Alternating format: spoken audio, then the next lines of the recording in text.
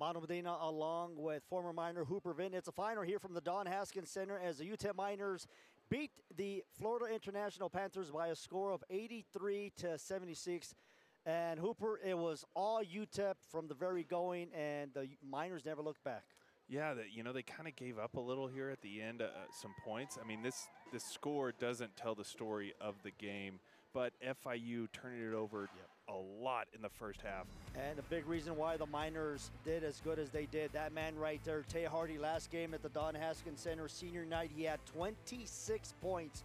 Miners started this game on a 16 to nothing run, but you got to give credit to Zid Powell because – he had 10 points. All his points were in the second half. He ended up with 17 points in the second half. Yeah, and FIU had 16 turnovers in the first half, only two in the second half. And the Miners ended up with 23. They turned it over so much in the second half. Not a good second half for the Miners. FIU kept battling, but just couldn't pull it out. Matter of fact, FIU scored 50 points in the second half. The Miners scored 43, but like I said, once again, the Miners had a big lead.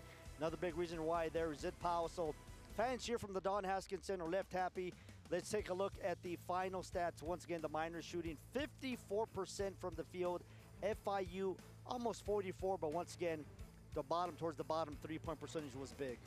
Yep, FIU shoots a lot of threes, and for them not to make them tonight was critical because they they shot 27 of them. Big win on senior night for the UTEP Miners. Tremendous job by them. That's the final once again, 83-76. They beat FIU.